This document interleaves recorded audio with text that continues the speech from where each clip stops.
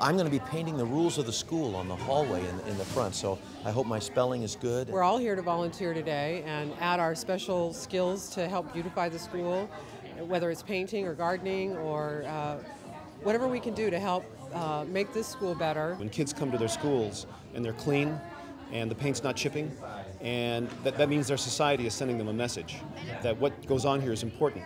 Volunteering is important because as a citizen of the U.S., I feel like it's my privilege and opportunity to give back to my community.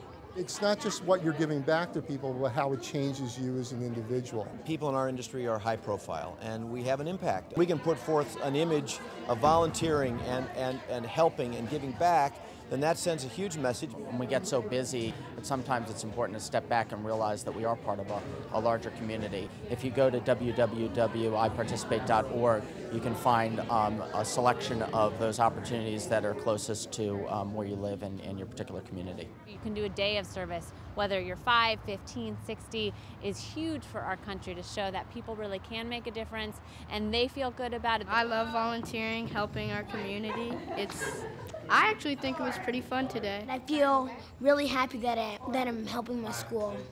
The idea of volunteering, I think, is something that's, uh, I hope, is sweeping the nation. It's